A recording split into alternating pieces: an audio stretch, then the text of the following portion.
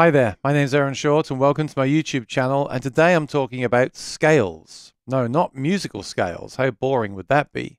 Scales to weigh your guitar for buying and selling.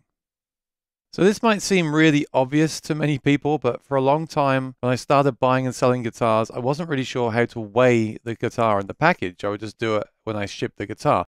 Now I use things like reverb shipping and it needs to know the weight up front.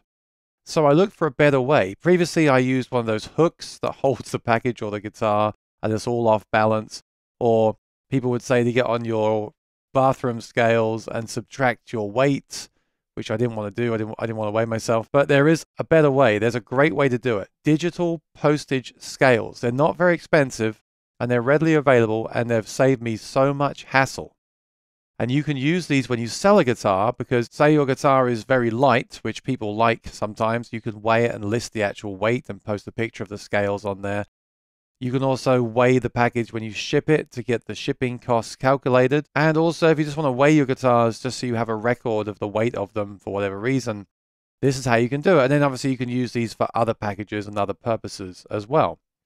So I'll show you the ones that I purchased. These are from Amazon and I'll put the link below in the description. So these are the exact ones that I got usually about $40, currently on sale actually at $24, which is really great. They can be powered by battery, USB cable, or an AC adapter. I use the batteries. They seem to last a long, long time, which is great. And as you can see, it opens up to do regular mail like this, but I never use it like that. I always use it closed.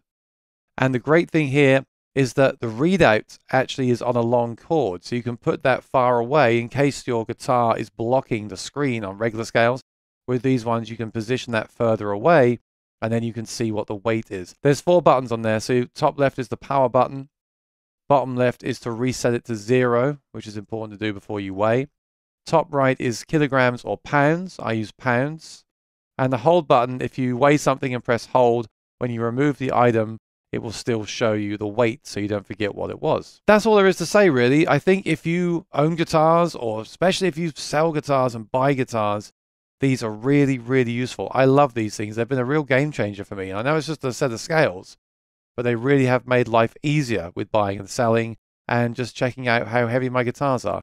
So let me give you a quick demo. I'm going to weigh one of my guitars so you can see how I do it and how it reads it out. And like I said earlier, if you want to buy a set of these for yourself, I'll put my Amazon link down in the description so you can check them out.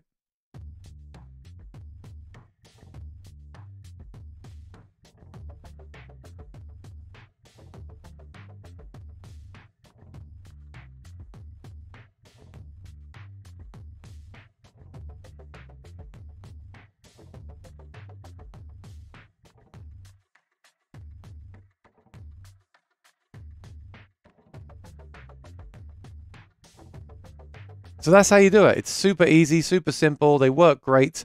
If you use a different method, feel free to let me know in the comments below. I'm always open to learning new things, but these have been absolutely great for me and made my life a lot easier. Thanks for watching the video. If you're into content like this, please subscribe and ring the bell. I really would appreciate it, and I look forward to seeing you next time. Bye-bye.